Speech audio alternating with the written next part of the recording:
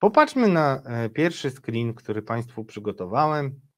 Tomasz Duklanowski na swoim Facebooku, screen jest dzisiaj, cały czas utrzymuje wpis z 7 lutego, który pokazuje top stacji radiowych, które były cytowane. E, cytowane, cytowania to jest istotny bardzo mm, dla mediów e, parametr naszej działalności, bo jeżeli my produkujemy, ujawniamy historie, które e, są później cytowane, to wskazuje na to, że jesteśmy opiniotwórczy. Tak przynajmniej się uznaje. No i Tomasz Duklanowski, który związany jest z niezależną, e, z mediami Tomasza Sakiewicza, ale także z Radiem Szczecin, któremu mm, zaczął mm, przewodzić od pewnego czasu, o czym za chwilę. Mm, chwali się 7 lutego, że Radio Szczecin znalazło się wśród najbardziej opiniotwórczych mediów Polsce. Instytut Monitorowania Mediów opublikował raport za grudzień i e, cytuję kawałek tego raportu. Mm, w raportach e, tego typu podaje się możliwą przyczynę, czy też wyraźną przyczynę, dlaczego taki, a nie inny wynik był. Rzeczywiście Radio Szczecin było cytowane 127 razy. No i sam pan Duklanowski pisze, cytuję raport e, i możesz jeszcze raz proszę Cię Macieju pokazać, bo przeczytam z ekranu. Stacja jako pierwsza podała informację o prawomocnym wyroku za pedofilię byłego pełnomocnika marszałka województwa zachodniopomorskiego do spraw walki z uzależnieniami. Okej, okay, no dobrze. Dziękuję, mogę się teraz pokazać. Drodzy Państwo, i o tej sprawie będziemy rozmawiać, ale będziemy rozmawiać o sprawie Tomasza Duklanowskiego, a nie o sprawie pedofila y, z Platformy Obywatelskiej, jak jest przekazywany, mm, jak jest pokazywany, y, przekazywany, nie no, przekazywany mm, materiał, mm, e, który, e, y, który Tomasz e, Duklanowski wypuścił. E, o tym materiale najwięcej powiem na końcu, e, między innymi dlatego, że e, wiem, że oglądają nas ludzie, którzy mają dużą wiedzę o szczecińskim, mm, o szczecińskim układzie, bym tak powiedział.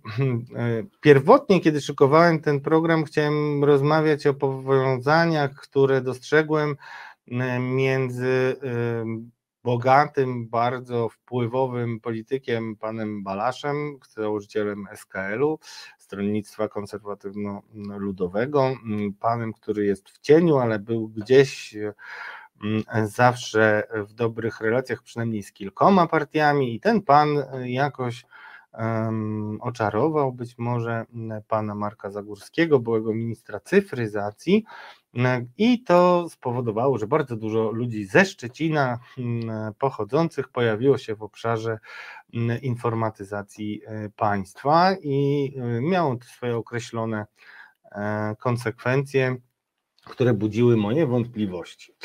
I dopiero następny minister zmienił trochę sytuację i odbił trochę też miejsce związanych z informatyzacją dla nowych ludzi z rąk układu szczecińskiego. Ale tak e, w ostatnich latach ten układ szczeciński e, nieco się zmienił. I mogę tak powiedzieć, żeby Państwo zobaczyli tą metamorfozę, to chciałem Państwu powiedzieć, że jeszcze w swojej książce Hipokryzja, którą już parę lat temu mm, popełniłem, opisywałem y, zachodniopomorskie i Szczecin przede wszystkim jako miejsce, w którym wszechobecne wpływy ma Kościół. I spokrewniony kościelnie, że tak powiem, jest prezydent Szczecina, politycy PiSu byli e, wychowankami e, nawet Dymera, znaczy mówię tutaj konkretnie o Pawle Szefernakerze, ministrze, mm, sekretarzu stanu bodajże w MSW,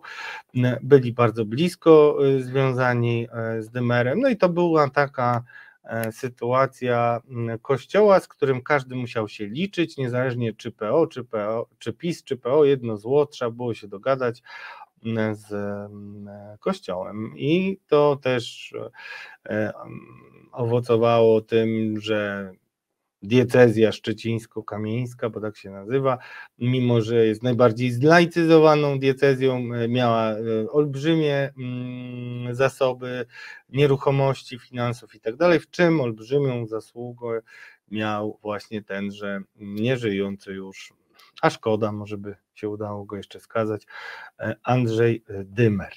To myślę, że Państwo pamiętacie. Ale, ale, coś się zmieniło. I na to chciałem zwrócić Państwa uwagę, bo jest to sprawa, która nie daje mi spać od dwóch, nie no, od przeszło tygodnia na pewno. I ciężko mi o niej mówić. E, popatrzmy na kolejny e, screen, który przygotowałem, e, Maćku. Mm, pan Duklanowski ujawnił skandal, a szef Komisji do Spraw Pedofilii chce go karać. Sakiewicz zawiadamia, prokuraturę, drodzy Państwo. Mm, popatrzmy sobie chwilkę na te twarze bojowników o prawdę, mm, którzy występują razem. Duklanowski został wylansowany ewidentnie przez e, pana Sakiewicza. I teraz e, dwa słowa o tym, co się stało e, i na czym polega manipulacja zresztą tych prawicowych mediów. Popatrzmy jeszcze na kolejny screen, żebyście wiedzieli, y, co się tak naprawdę stało, bo tutaj widzimy tak naprawdę efekty dopiero. Natomiast jak widzicie, 30 grudnia to nie jest taka zupełnie y, przypadkowa data, bo kończy się rok. To jest też e, dla wielu ludzi czas depresji, czas takich różnych podsumowań, często gorzkich. I akurat wtedy Tomasz Duklanowski postanowił o sobie przypomnieć. Tomasz Duklanowski, który był najpierw dziennikarzem śledczym e, Gazety Polskiej i Radia Szczecin, a w międzyczasie został już szefem Radia Szczecin.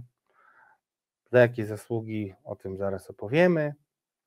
Publikuje taki materiał. Zmowa milczenia wokół afery pedofilskiej w Platformie.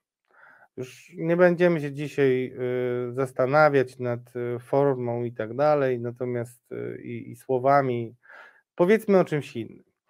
E, Tomasz Duklanowski pisze, mm, tutaj widzimy okładkę, zły pedofil trzyma dziecko. E, o, myślałem, że tam jest różaniec, ale to nie jest różaniec, to jest tylko warkoczyk tej dziewczynki. No ale Właśnie, za dużo, to, to, to już wiadomo. E, Tomasz Duklanowski napisał tak. Czy marszałek Olgierd Gablewicz i jednocześnie przewodniczący PO na Pomorzu Zachodnim wyjaśni, czy było więcej ofiar pedofila Krzysztofa F., czy nadal będzie obowiązywała zmowa milczenia w tej sprawie w środowisku Platformy Obywatelskiej? E, tytułem zdejmij już na razie, proszę. Mm, e, Tytułem wyjaśnienia. Sprawa dotyczy skazania człowieka, e, który zaraz będzie też pokazany na e, kolejnym screenie, e, który gnije w więzieniu właśnie mm, za to, co zrobił i też może za to, czego nie zrobił również, ale to inna zupełnie kwestia. Nie ulega wątpliwości, że tenże człowiek skrzywdził dziecko, znaczy dopuścił się jak to się mówi, w prawie innych czynności seksualnych w stosunku do dziecka. Ponieważ ja znam bardzo dobrze i mm, materię tego, jak można klasyfikować pedofilów, jak i materię życia polityczno-kościelno-prokuratorsko-policyjnego w Szczecinie, to chciałbym parę słów na ten temat powiedzieć, nie wchodząc w szczegóły. Sąd skazał, on siedzi i tyle. Y, zbadałem tę sprawę i mogę powiedzieć, że e, mówienie, e, znaczy mogę powiedzieć odpowiedzialnie tyle, że po wielu rozmowach i sprawdzeniach, które robiłem, nie znalazłem nawet cienia mm, próby ukrycia tego faktu przez Platformę Obywatelską. Nie znalazłem. Sprawa była bardzo delikatna. E, bo mm, i dlatego nie była ujawniana bardzo długo. Sprawa była bardzo delikatna, ponieważ e, nie tylko chodziło o, e, o, o, Nie, zacznijmy inaczej. Przepraszam.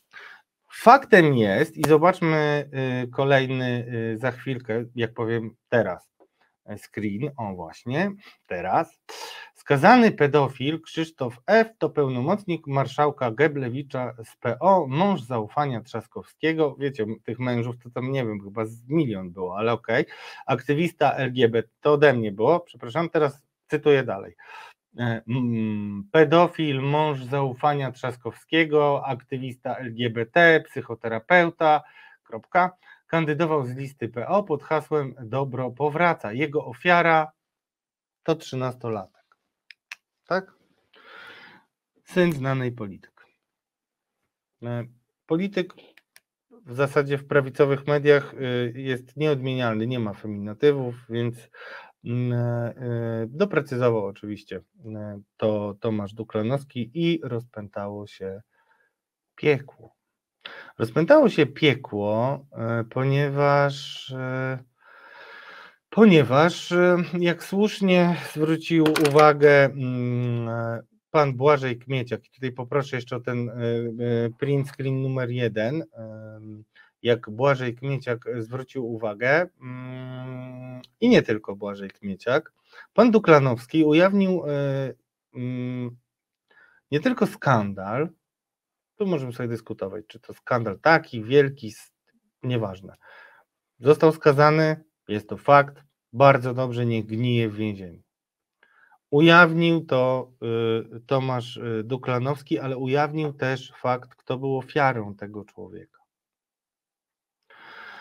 I to y, w opinii pana mm, Błażeja Kmieciaka, szefa Państwowej Komisji do Spraw Pedofilii, mm, no, nosiło znamiona mm, działania y, godzącego ogromnie w dobro tego dziecka.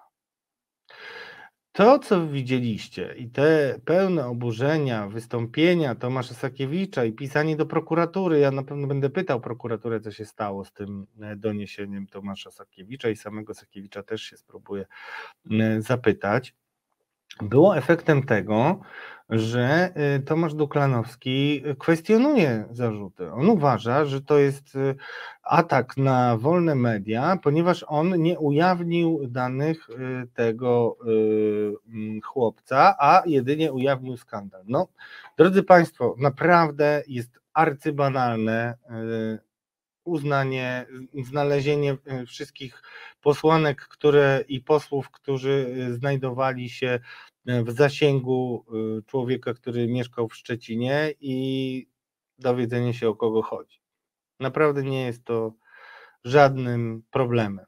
I mimo, że formalnie być może byłby tutaj spór nie, nie wiadomo jak rozstrzygnięty przez sąd, bo prawo prasowe mm, różnie bywa oceniane, no to Fakty mówią same za siebie. Nikt mnie nie przekona, że czarne jest białe, a białe jest czarne.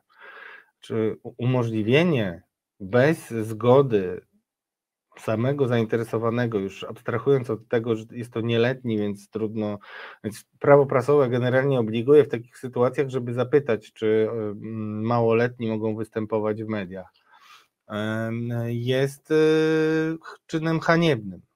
Jest czynem haniebnym, y, jest y, skrajną nieodpowiedzialnością i może się przyczynić do tragedii. I nie jest to, nie jestem wcale gołosłowny.